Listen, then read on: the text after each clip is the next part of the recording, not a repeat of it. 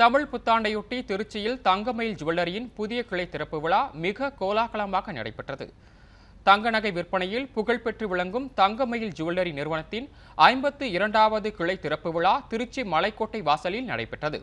இந்நிகழ்வில் கலந்து கொண்ட தமிழ்நாடு வணிகர் சங்கங்களின் பேரமைப்பில் மாநில செயலாளர் கோவிந்தராஜுலு உள்ளிட்டோர் இணைந்து தங்கமயில் ஜுவல்லரியின் புதிய கிளையை திறந்து வைத்தனர்.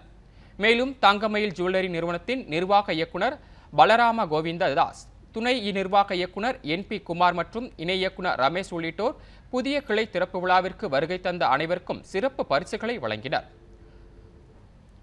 திறப்பு விழா சலுகையாக ஒரு சவரன் தங்க நகைக்கு எண்ணூறு ரூபாய் தள்ளுபடி வழங்கப்பட்டது. இச்சலுகை இம்மாதம் இருபத்து ஐந்தாம் தேதி வரை வழங்கப்படும் என்று தெரிவிக்கப்பட்டுள்ளது. தொடர்ந்து செய்தியாளர்களிடம் பேசிய தங்கமயில் ஜுவல்லரியின் இணை நிர்வாக இயக்குனர் ரமேஷ் தங்கமயில் ஜுவல்லரியின் புதிய கிளைகளுக்கு பொதுமக்கள் மத்தியில் நல்ல ஆதரவு உள்ளதாக தெரிவித்தார். தங்கமேல் ஜுவல்லரியுடைய ஐம்பத்தி இரண்டாவது கிளை மிக சிறப்பான முறையில் கோலாகலமாக திறக்கப்பட்டுள்ளது. இங்கு உள்ள மக்கள் அனைவரும் புது புது வித்தியாசமான டிசைன்களில் எண்ணற்ற நகைகளை நாங்கள் வந்து அறிமுகப்படுத்தியிருக்கிறோம். இது வந்து எங்களுடைய ஐம்பத்தி ரெண்டாவது கிளை.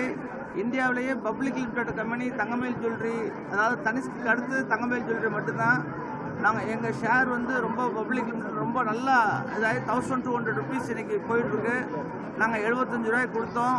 ஸோ மக்கள் அனைவருக்கும் என்னுடைய நன்றியையும் வாழ்த்துக்களையும் தெரிவித்துக் கொள்கிறேன்.